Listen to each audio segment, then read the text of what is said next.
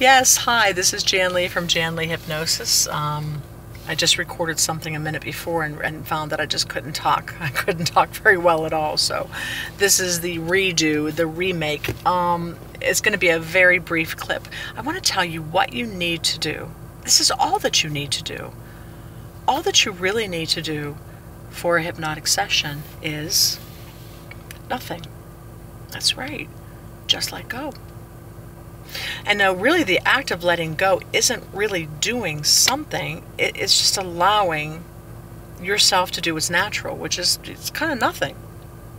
Okay, maybe it sounds puzzling or bewildering, but really, there's nothing you have to do. What's important is for you to know about what hypnosis is so that you can delete and erase in your mind any crazy ideas, falsehoods, uh, myths lies about it because it is nothing more than using your mind in a different way.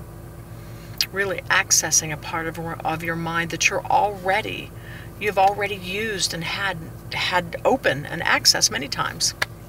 So um, that's really what I need you to do is nothing, is to just let go. Just be like a rag doll. Just be relaxed, breathe slowly. Um, let go of your whole body, your mind, your heart, everything, and just take in the experience. And I will be helping you to have the experience with my voice, with my skills as a hypnotist, with imagery, with, with observing what your body is doing, with knowing what suggestions you want, the positive ones that are going to work for you. And that's really about all. So I want you to practice that doing nothing, right? Just letting go. Just, just letting go with everything, all right?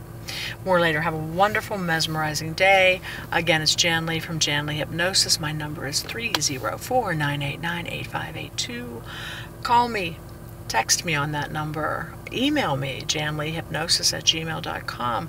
Look me up on YouTube. I have about 50 of these videos, I think. I think that you're going to like them. Comment, share them. Try to give me a thumbs up if you can. That always helps. I get a little bit nervous when I see some thumbs down, but that's okay too. All right. Have a great day.